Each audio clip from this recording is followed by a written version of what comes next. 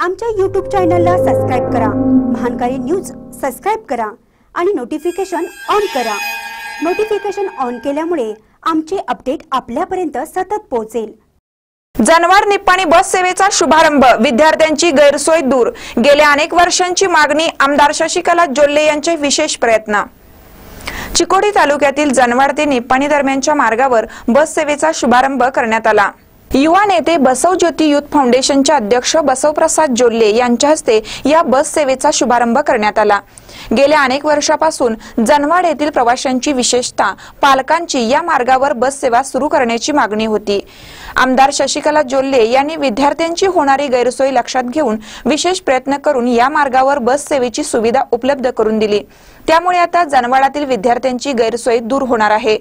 यावेळी ज्येष्ठ नेते हलसिद्धनाथ साखर कारखान्याचे संचालक रामगोंडा पाटील उदय पाटील रमेश पाटील सोनाली मगदूम आप्पासाहेब मगदूम पिरगोंडा मगदूम मल्लू मुधाळे आप्पासाहेब मानके नारायण पुजारी तिप्पा पुजारी संजय जांगडे राहुल घाटगे प्रकाश शांडगे यांच्यासह अन्य उपस्थित होते महानकर न्यूजसाठी जनवाडहून शिवाजी भोरे ನಿಪ್ಪಾನಿ ಡಿಪೋ ವತಿಯಿಂದ ಜನ್ವಾಡ್ ಟು ನಿಪ್ಪಾನಿ ಈ ಒಂದು ಬಸ್ ಇದೊಂದು ಪ್ರಾರಂಭ ಮಾಡಿದ್ವಿ ಯಾಕಂದರೆ ಸುಮಾರು ಈಗ ನಾಲ್ಕು ದಿನ ಹಿಂದೆ ನನಗೆ ಭಾಳಷ್ಟು ಯುವಕರು ಬಂದು ಹೇಳಿದರು. ಅಂದರೆ ಇಲ್ಲಿಂದ ಯಾರು ನಿಪ್ಪಾನಿ ಕಾಲೇಜಿಗೆ ಹೋಗ್ತಾರೆ.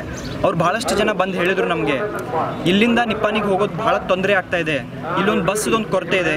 ನಾವು ಕಾಲೇಜಲ್ಲಿ ಕಲಿತಾ ಇರೋದ್ರಿಂದ ಫಸ್ಟ್ ಪೀರಿಯಡ್ ಅಟೆಂಡ್ ಆಗ್ಲಿಕ್ಕೆ ಆಗ್ತಾ ಇಲ್ಲ. ಯಾಕಂದರೆ ನಾವು ಬಸ್ ತೊಗೋಬೇಕಂದ್ರೆ ನಾವು ಚಾನ್ಸ್ ಇರೋ ದೊಡ್ಡ ಮಟ್ಟ ನಡ್ಕೋತ ಹೋಗಿ, ಅಲ್ಲಿಂದ ಬಸ್ ತೊಗೋಬೇಕು ಅಥವಾ ಸದಲ್ಗಾಗಿ ಹೋಗಿ ಅಲ್ಲಿಂದ ಬಸ್ ತೊಗೋಬೇಕಂತ ಹೇಳಿದರು. ಅದಕ್ಕೆ ಇವೆಲ್ಲ ಒಂದು ತೊಂದರೆಗಳನ್ನು ಹೇಳಿ ಆದಮೇಲೆ ನಾನು ಕೂಡ ನಿಪ್ಪಾನಿ ಶಾಸಕರಾದಂಥ ಶಶಿಕಲಾ ಜೊಲ್ಲೆಜಿ ಅವ್ರಿಗೆ ತಿಳಿಸಿ ಒಂದು ಬಸ್ವನ್ನು ಪ್ರಾರಂಭ ಮಾಡಿದ್ವಿ.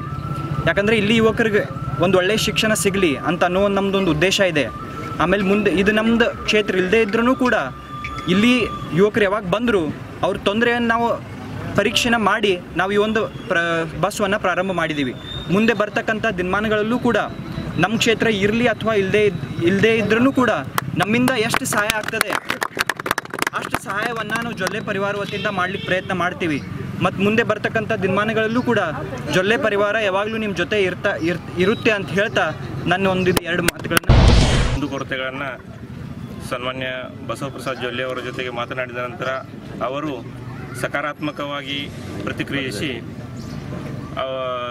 ಈ ವಿಷಯವನ್ನು ಅತ್ಯಂತ ಗಂಭೀರವಾಗಿ ಪರಿಗಣಿಸಿ ಕೇವಲ ಎರಡೇ ಎರಡು ದಿನಗಳಲ್ಲಿ ಡಿಪೋ ಮ್ಯಾನೇಜರ್ ಜೊತೆಗೆ ಮಾತಾಡಿ ನಿಪ್ಪಾಣಿ ಬಸ್ ಸೌಕರ್ಯವನ್ನು ಮಾಡಿಕೊಟ್ಟಿದ್ದಾರೆ.